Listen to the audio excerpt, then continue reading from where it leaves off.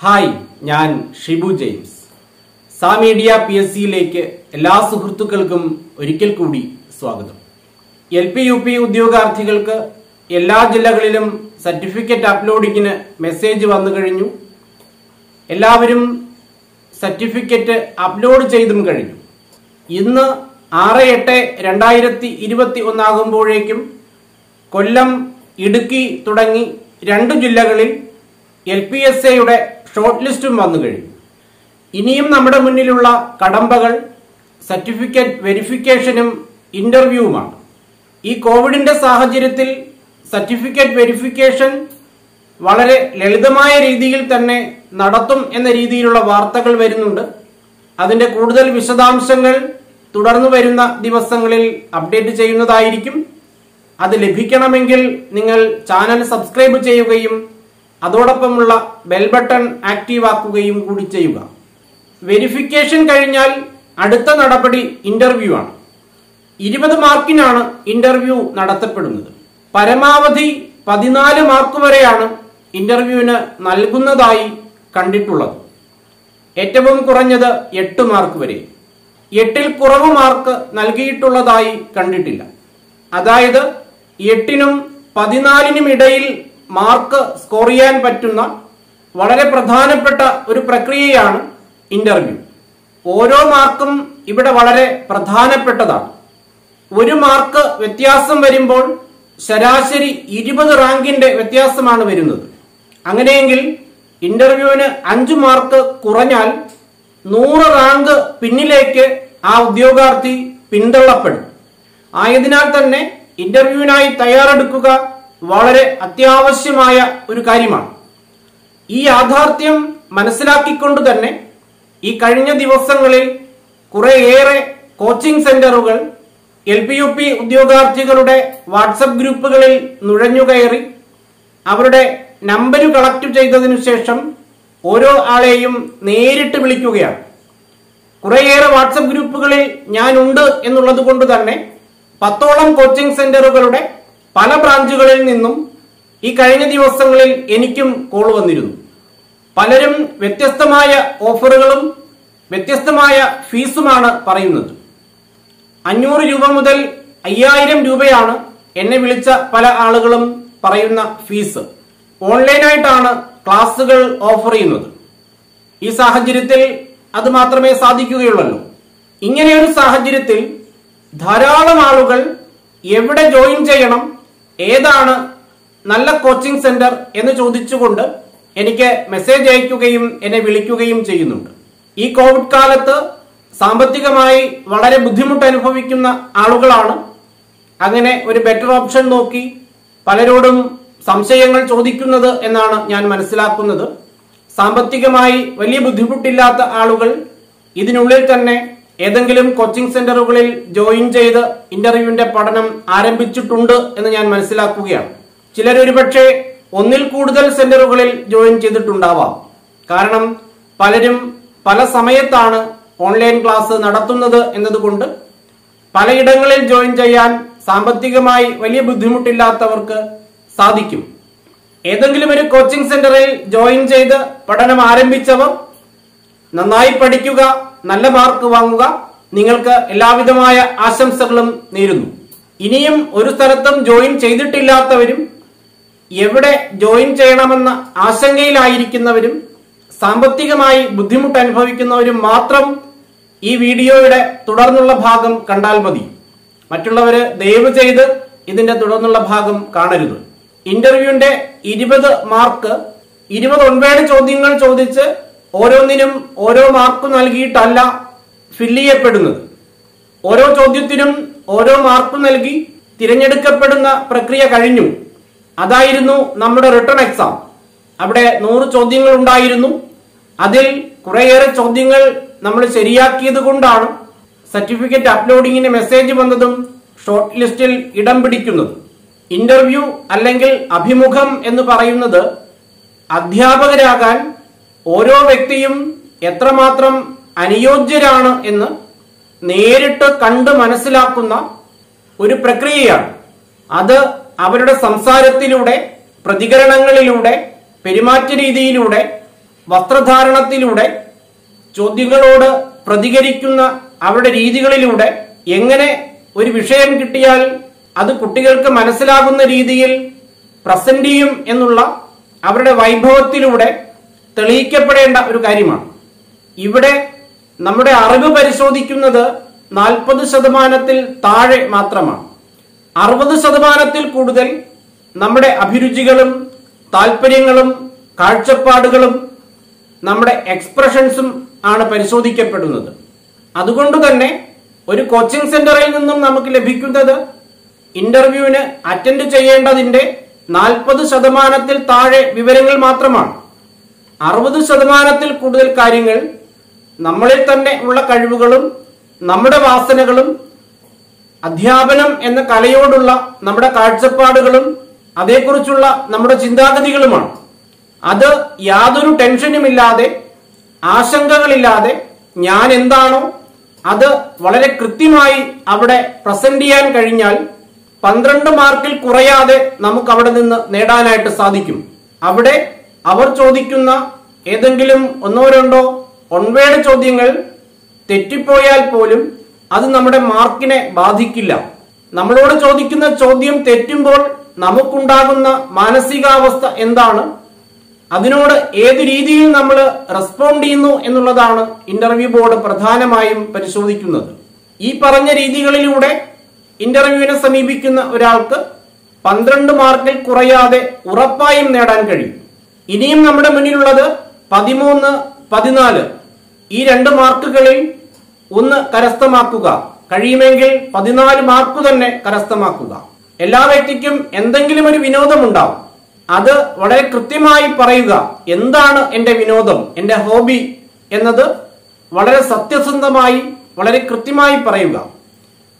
ഈ പറയുന്ന കാര്യങ്ങളൊക്കെ പല യൂട്യൂബ് ചാനലുകളിൽ നിന്ന് യൂട്യൂബ് വീഡിയോകളിൽ നിന്ന് നിങ്ങൾ കേട്ടിട്ടും മനസ്സിലാക്കിയിട്ടുമുള്ള കാര്യങ്ങളാണ്. അത് സ്വയം പരിശീലിക്കാനാണ് നിങ്ങൾ ഈ ദിവസങ്ങളിൽ പരിശ്രമിക്കേണ്ടത്. വസ്ത്രധാരണത്തെക്കുറിച്ച് പറയുമ്പോൾ സാരിയും മുണ്ടും ഷർട്ടും ധരിച്ച് ഇന്റർവ്യൂ ബോർഡിന് മുന്നിൽ പ്രത്യക്ഷപ്പെടണമെന്ന് നിർബന്ധമൊന്നുമില്ല. കണ്ടാൽ ആരും അയ്യേ എന്ന് പറയാത്ത വസ്ത്രമായിരിക്കണം. അത് നമുക്ക് വളരെ കംഫർട്ടബിൾ ആയിരിക്കണം. കാരണം നമ്മൾ ധരിച്ചിരിക്കുന്ന വസ്ത്രം നമുക്ക് കംഫർട്ടബിൾ അല്ലെങ്കിൽ നമ്മുടെ ആത്മവിശ്വാസം പകുതി അവിടെ തന്നെ നഷ്ടപ്പെടും. അതുകൊണ്ട് വളരെ മാന്യമായ നമുക്ക് കംഫർട്ടബിൾ ആയ ഒരു വസ്ത്രം ധരിച്ച് ഇന്റർവ്യൂ ബോർഡിന് മുന്നിൽ ചെല്ലാം. തൊട്ടു മുൻപ് പറഞ്ഞ ഹോബി വളരെ പ്രധാനപ്പെട്ട ഒരു കാര്യമാണ്. പാട്ട് കേൾക്കുന്നവരും പുസ്തകം വായിക്കുന്നവരും ആണ് മിക്കവാറും എല്ലാ ആളുകളും. എന്നാൽ വല്ലപ്പോഴും ഒരു പാട്ട് കേൾക്കുന്ന വർഷത്തിലൊരു പുസ്തകം മാത്രം വായിക്കുന്ന ഒരാളെ സംബന്ധിച്ച് ആധികാരികമായി അതേക്കുറിച്ചൊന്നും പറയാനായിട്ട് കഴിയില്ല. അതുകൊണ്ട് തന്നെ എല്ലാ ദിവസവും നിങ്ങൾ ചെയ്യുന്ന എന്തെങ്കിലും എന്റർടൈൻമെന്റ്സ് നിങ്ങളുടെ വിനോദമായി പറഞ്ഞാൽ അതുമായി ബന്ധപ്പെട്ട് ചോദിക്കുന്ന ചോദ്യങ്ങൾക്ക് കൃത്യമായി നിങ്ങൾക്ക് ഉത്തരം പറയാനായിട്ട് സാധിക്കും. അതോടൊപ്പം തന്നെ വിദ്യാഭ്യാസ മേഖലയുമായി ബന്ധപ്പെട്ട് നിലവിലുള്ള നിയമങ്ങൾ മാറിവരുന്ന സർക്കാരിന്റെ പദ്ധതികൾ കുട്ടികളുടെ വികസനത്തിനു വേണ്ടി സർക്കാർ ആവിഷ്കരിച്ചിരിക്കുന്ന കുറേയേറെ സ്കീമുകൾ ഇതിനെക്കുറിച്ചൊരു കൃത്യമായ ധാരണ നിങ്ങൾക്കുണ്ടാകണം. ഇത്തരം കാര്യങ്ങളെക്കുറിച്ചൊക്കെ തുടർന്ന് ഏതാനും ചില വീഡിയോസ് ഞാനും ചെയ്യുന്നുണ്ട്.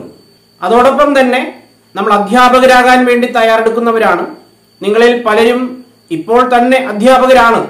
പല സ്കൂളുകളിൽ ഡെയിലി വേജസ് ആയിട്ട് വർക്ക് ചെയ്യുന്നവരുണ്ടാവും. പ്രൈവറ്റ് സ്കൂളുകളിൽ വളരെയേറെ വർഷങ്ങളായി അധ്യാപകരായി പ്രവർത്തിക്കുന്നവരുണ്ടാകും ഒന്നുമില്ലെങ്കിലും കുറച്ച് കുട്ടികൾക്ക് വീട്ടിൽ ട്യൂഷൻ പഠിപ്പിക്കുന്നവരെങ്കിലും ആകും നിങ്ങൾ ഓരോരുത്തരും. അതുകൊണ്ട് തന്നെ നിങ്ങളോടൊരു ഡെമോ ക്ലാസ് എടുക്കാൻ പറഞ്ഞേക്കാം. എല്ലാവരോടും പറയണമെന്ന് നിർബന്ധമൊന്നുമില്ല.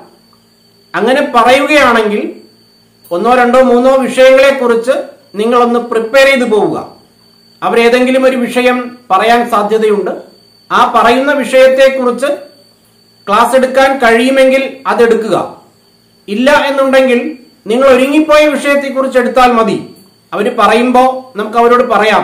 സാർ ആ വിഷയത്തെക്കുറിച്ച് ക്ലാസ് എടുക്കാൻ ഞാൻ പ്രിപ്പയർഡ് അല്ല. ആ വിഷയത്തെക്കുറിച്ച് ക്ലാസ് എടുക്കാൻ ഞാൻ പ്രിപ്പയർഡ് അല്ല എന്ന് പറഞ്ഞാൽ എന്നാൽ നിങ്ങൾക്ക് ഇഷ്ടമുള്ള വിഷയത്തെക്കുറിച്ച് എടുത്തോളൂ എന്ന് അവർ തന്നെ പറയും. കാരണം അധ്യാപകൻ ക്ലാസ്സിൽ വന്നിട്ട് കുട്ടി പറയുന്ന കാര്യമല്ലല്ലോ അധ്യാപകൻ പഠിപ്പിക്കുന്നത്.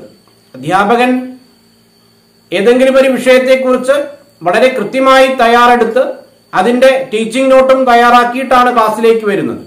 അങ്ങനെ ഒരുങ്ങി വന്നിട്ടാണ് അധ്യാപകൻ പഠിപ്പിക്കേണ്ടത്. അതുകൊണ്ട് അവർ പറയുന്നത് തന്നെ പഠിപ്പിക്കണം എന്ന നിർബന്ധമൊന്നുമില്ല. അത് പഠിപ്പിച്ചില്ല എന്ന് കരുതി നിങ്ങളുടെ മാർക്ക് കുറയുകയുമില്ല. എന്നാൽ നിങ്ങൾ വളരെ കൃത്യമായി ഏതെങ്കിലും ഒന്നോ രണ്ടോ വിഷയങ്ങളെ കുറിച്ച് ക്ലാസ് എടുക്കാൻ തയ്യാറായിരിക്കണം എന്ന് മാത്രമേ ഉള്ളൂ. മൈനസ് മാർക്കുള്ള ആൾ പോലും അധ്യാപകരായി നിയമിതരായി എന്ന് പറഞ്ഞുകൊണ്ട് ഞാനൊരു വീഡിയോ ചെയ്തിരുന്നു. ആ വീഡിയോയ്ക്ക് ഒരാൾ കമന്റ് ചെയ്തിരുന്നത് ഏറ്റവും നല്ല മാർക്കുള്ള ആൾ നല്ല അധ്യാപകനാകില്ല എന്നതാണ്. അത് സത്യമാണ്.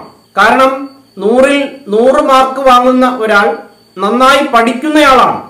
പക്ഷേ അയാൾ പഠിച്ചതും മനസ്സിലാക്കിയതുമായ കാര്യങ്ങൾ വളരെ കൃത്യമായി തന്റെ മുന്നിലിരിക്കുന്ന ആൾക്ക് പറഞ്ഞു കൊടുക്കാനുള്ള വൈഭവം ചിലപ്പോൾ ഉണ്ടാകണമെന്നില്ല. അങ്ങനെയുള്ള വൈഭവമുള്ള ആളെയാണ് നമ്മൾ അധ്യാപകർ എന്ന് പറയുന്നത്.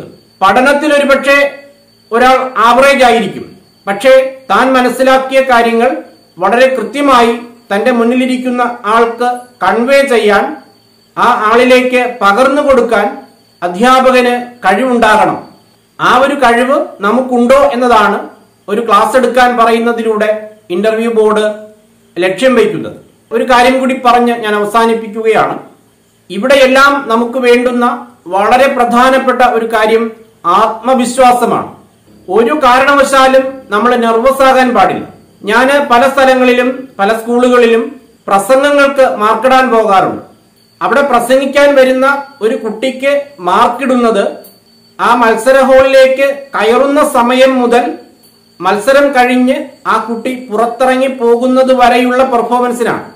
അല്ലാതെ മൈക്കിന് മുന്നിൽ വന്ന് നിന്നിട്ട് പറഞ്ഞു തുടങ്ങി അവസാനിപ്പിക്കുന്നത് വരെ അല്ല കയറി വരുന്ന സമയത്തു തന്നെ ആളുടെ ആത്മവിശ്വാസം നമുക്ക് മനസ്സിലാക്കാൻ കഴിയും. അതുപോലെ നമ്മൾ വളരെ കോൺഫിഡന്റ് ആയിരിക്കണം. എനിക്ക് എന്നെക്കുറിച്ചൊരു ധാരണയുണ്ടാകണം ഒരു ബോധ്യമുണ്ടാകണം എവിടെയെങ്കിലും അസ്വസ്ഥതകളോ ബലഹീനതകളോ അറിവില്ലായ്മയോ ഉണ്ടെങ്കിൽ ഈ വരുന്ന ഒരു മാസം കൊണ്ട് പരിശീലനത്തിലൂടെ അതിനെ അതിജീവിക്കാൻ നമുക്ക് കഴിയണം. ഏതെങ്കിലും ഒന്നോ രണ്ടോ വിഷയങ്ങൾ തയ്യാറായി കണ്ണാടിയുടെ മുന്നിൽ നിന്നോ അല്ലെങ്കിൽ മക്കളെയും ഭർത്താവിനെയും പിടിച്ച് മുന്നിലിരുത്തിയോ അല്ലെങ്കിൽ മാതാപിതാക്കളെ പിടിച്ച് മുന്നിലിരുത്തിയോ നിങ്ങൾ ക്ലാസ് എടുത്തു തന്നെ പഠിക്കണം. അതോടൊപ്പം എന്തെങ്കിലും ചില ഹോബീസ് നിങ്ങൾക്കുണ്ടെങ്കിൽ അതിനെ ഈ ഒരു മാസം കൊണ്ട് ഡെവലപ്പ് ചെയ്തെടുക്കാം. പരമാവധി അതുമായി ബന്ധപ്പെട്ട് ശേഖരിക്കാൻ കഴിയുന്ന വിവരങ്ങൾ ശേഖരിച്ച് അതിനെ ഒരു ഹോബിയായിട്ട് ഡെവലപ്പ് ചെയ്തെടുത്താൽ വളരെ ആത്മവിശ്വാസത്തോടെ നിങ്ങൾക്ക് പറയാനായിട്ട് സാധിക്കും. ഇങ്ങനെ നമ്മളിലുള്ള കഴിവുകൾ നമ്മുടെ അറിവുകൾ ഒരു ബോർഡിന് മുന്നിൽ പ്രസന്റ് ചെയ്യാൻ വേണ്ടി നമുക്കൊരു കോച്ചിങ് സെന്ററിന്റെ സഹായം ആവശ്യമുണ്ടോ എന്നത് നിങ്ങൾ ഒന്നുകൂടി പരിശോധിക്കുക. നിങ്ങൾക്ക് വേണ്ടുന്ന ഇൻഫർമേഷൻ വളരെ ഫ്രീ ആയിട്ട് തന്നെ സോഷ്യൽ മീഡിയ പ്ലാറ്റ്ഫോമുകളിൽ നിന്ന് നിങ്ങൾക്ക് ലഭ്യമാണ്. അതുകൊണ്ട് തന്നെ സാമ്പത്തികമായി ബുദ്ധിമുട്ട് അനുഭവിക്കുന്നവര് അത്തരം പ്ലാറ്റ്ഫോമുകളുടെ സഹായത്തോടെ തയ്യാറെടുത്താൽ ഫീസ് കൊടുത്ത് ഒരു കോച്ചിങ് സെന്ററിൽ പോയി അല്ലെങ്കിൽ അവരുടെ ഓൺലൈൻ ക്ലാസ്സിൽ അറ്റൻഡ് ചെയ്ത് പഠിക്കുന്ന ആളെക്കാൾ കൂടുതൽ മാർക്ക് നിങ്ങൾക്ക് വാങ്ങാൻ കഴിയും. ഒരു കോച്ചിങ് സെന്ററിൽ പോയി ഇരുന്നു എന്നതുകൊണ്ട് കാര്യമില്ല. ഞാൻ പഠിക്കുക എന്നതാണ് അവിടെ പ്രധാനം. ഇവിടെ പഠനവുമല്ല പരിശീലനമാണ്. സ്പോക്കൺ ഇംഗ്ലീഷ് പഠിക്കാൻ പോയിട്ടുള്ള ആളുകൾക്കറിയാം. ഒരു മാസം കൊണ്ട് പഠിക്കേണ്ടുന്നതെല്ലാം അവർ പഠിപ്പിച്ചു തരും. അത്രയും കഴിഞ്ഞതിനു ശേഷം ഒരാളോട് വൃത്തിയായിട്ടൊരു സെന്റൻസ് പറയാൻ നമുക്ക് കഴിയില്ല. എന്നാൽ ഒരിടത്തും പോയി പഠിക്കാത്ത ഒരാൾ ഒരു മാസം ഇംഗ്ലീഷ് മാത്രം സംസാരിക്കുന്ന ആളുകളുടെ ഇടയിൽ ജീവിച്ചാൽ അയാൾ നമ്മളെക്കാൾ ഭംഗിയായി ഇംഗ്ലീഷ് പറയും. അത് പരിശീലനമാണ് പഠനമല്ല. ആ ഒരു പരിശീലനമാണ് ഇന്റർവ്യൂവിന് വേണ്ടി ഈ ഒരു മാസം അല്ലെങ്കിൽ ഇന്റർവ്യൂ എന്നാണോ നടക്കുന്നത് അതുവരെയുള്ള സമയം നിങ്ങൾ ചെയ്യേണ്ടത്. ഈ നിമിഷം മുതൽ നിങ്ങളത് ആരംഭിച്ചിട്ടില്ലെങ്കിൽ ആരംഭിക്കുക. മിക്കവാറും എല്ലാ ആളുകളും അത് ആരംഭിച്ചിട്ടുണ്ട്. നിങ്ങൾ വളരെ ആത്മവിശ്വാസത്തോടെ ഒരു തരത്തിലും നെർവസ് ആകാതെ നിങ്ങളുടെ കഴിവുകൾ വളരെ ഭംഗിയായി ഇന്റർവ്യൂ ബോർഡിന് മുന്നിൽ പ്രസന്റ് ചെയ്താൽ ഉറപ്പായിട്ടും പതിനാല് മാർക്കും നിങ്ങൾക്ക് വാങ്ങാൻ കഴിയും. എക്സലന്റ് പെർഫോമൻസിന് പതിനഞ്ച് മാർക്ക് വരെ കൊടുക്കും എന്ന് കേട്ടിട്ടുണ്ട്. പക്ഷെ കഴിഞ്ഞ റാങ്ക് ലിസ്റ്റ് പരിശോധിച്ചപ്പോൾ പതിനഞ്ച് മാർക്കുള്ള ആരെയും എനിക്ക് കാണാൻ കഴിഞ്ഞില്ല. ഒരുപക്ഷെ എന്റെ ശ്രദ്ധയിൽപ്പെടാതെ പോയതാണോ എന്ന് എനിക്കറിയില്ല അങ്ങനെ ആർക്കെങ്കിലും കിട്ടിയതായി നിങ്ങൾക്കറിയാമെങ്കിൽ നിങ്ങൾ അത് കമന്റ് ചെയ്യുക. ഇതേക്കുറിച്ച് നിങ്ങൾക്ക് എന്തെങ്കിലും സംശയങ്ങൾ ഉണ്ടെങ്കിൽ നിങ്ങൾക്കത് കമന്റ് ചെയ്യാം.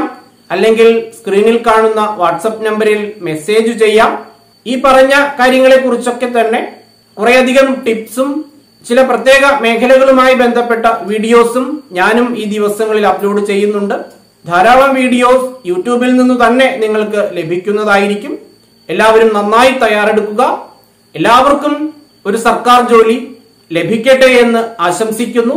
അതിനേക്കാൾ ഉപരിയായി നല്ലൊരു രാഷ്ട്രം കെട്ടിപ്പടുക്കുന്നതിന് നല്ല അധ്യാപകരാണ് നമ്മുടെ സമൂഹത്തിന് വേണ്ടത്. നല്ല മാതാപിതാക്കളും നല്ല അധ്യാപകരുമാണ് നല്ല കുഞ്ഞുങ്ങളുടെ രൂപീകരണത്തിന് വളർച്ചയ്ക്ക് ആവശ്യമായിട്ടുള്ളത്. അങ്ങനെ നല്ല മാതാപിതാക്കളും അധ്യാപകരും ആകാൻ നിങ്ങൾക്ക് ഓരോരുത്തർക്കും കഴിയട്ടെ എന്ന് ആശംസിച്ചുകൊണ്ട് നിർത്തുന്നു. നന്ദി.